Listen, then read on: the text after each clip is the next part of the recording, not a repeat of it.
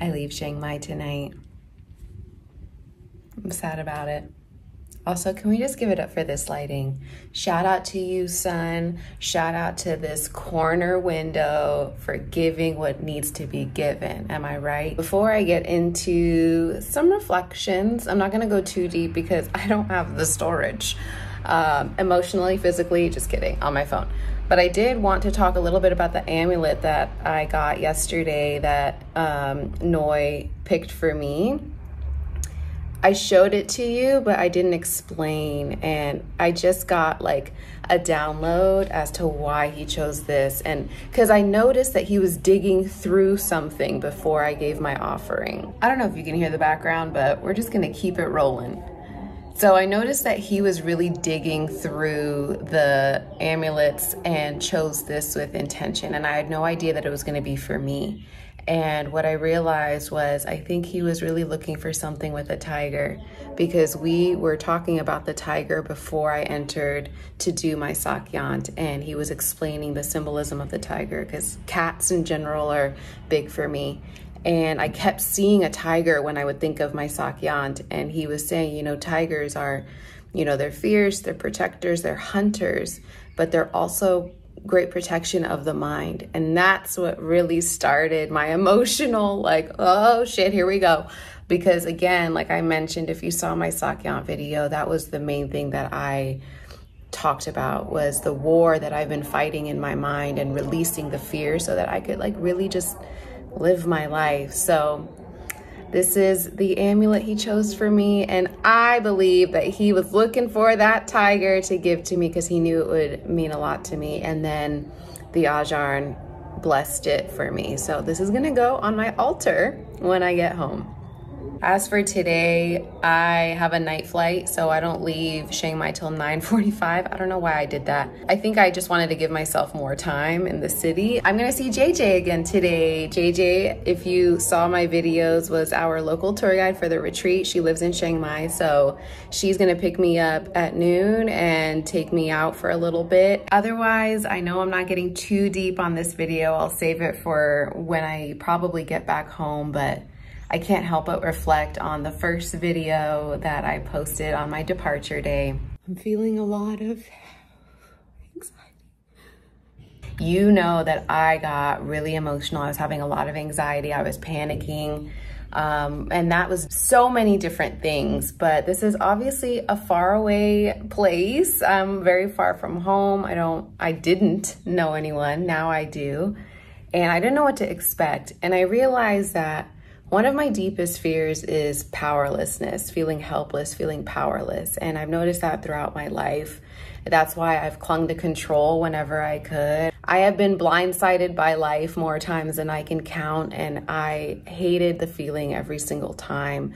And so this was really scary for me. And I wanted to face that fear because uncertainty is certain, you know, like I, I can't run from uncertainty. And I've noticed how unconsciously, again, the shadow, unconsciously, my fear of powerlessness has created habits that aren't necessarily true to who I am at my core, you know, because there would be this sort of egoic, like I need to dominate, I need to control, I need to have power in order to feel safe.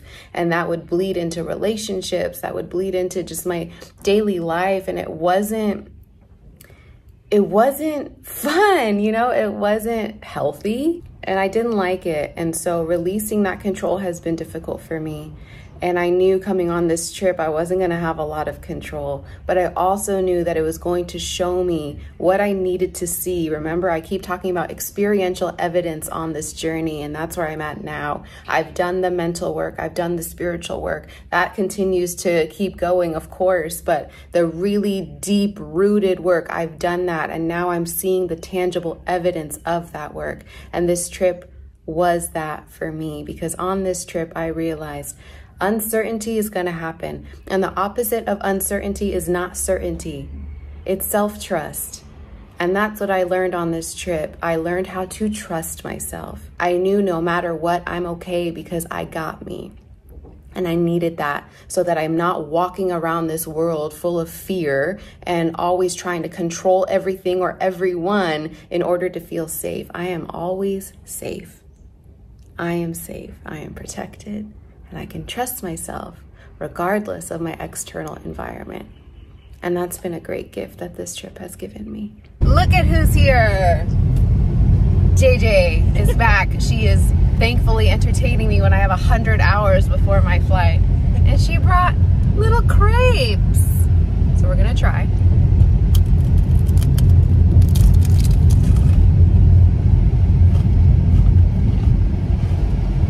Oh, that's good. It's light. Yes. One more time. Kanom buang. Kanom buang. Buang. Kanom buang.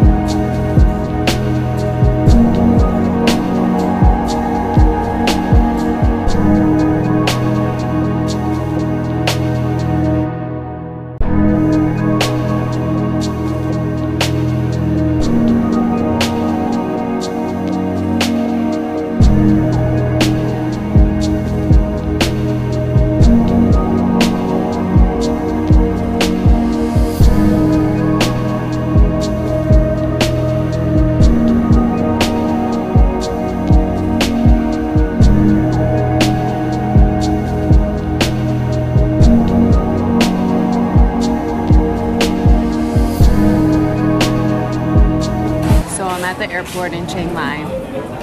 I tried to leave later than usual because I'm always early, still early, because my car got there early and they won't check my bag because they're not even doing that yet. But it worked out because I know I need to eat something and unfortunately what caught my eye was something that was um, definitely not good for me, but I don't care because it's delicious and I'm going to show you.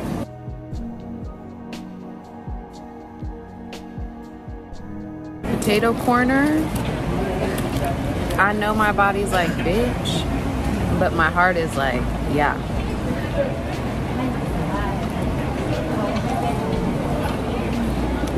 Oh, yeah. All right, y'all, I'm back in Phuket for 12 hours. Just a pit stop to get some sleep before my flight back home tomorrow. Um, I'm exhausted. It is like almost one in the morning. The flight was delayed, so we didn't land till past midnight. And then luckily I, I booked a driver ahead of time, so that was smart. Then I got to the hotel and no one was at the front desk and the driver left and I was like, Um, hello? I was about to post up on their little couch, call it a night. I'm exhausted. But luckily someone came like after 10, 15 minutes. So I'm, I'm just gonna knock out and then it's back to LA tomorrow.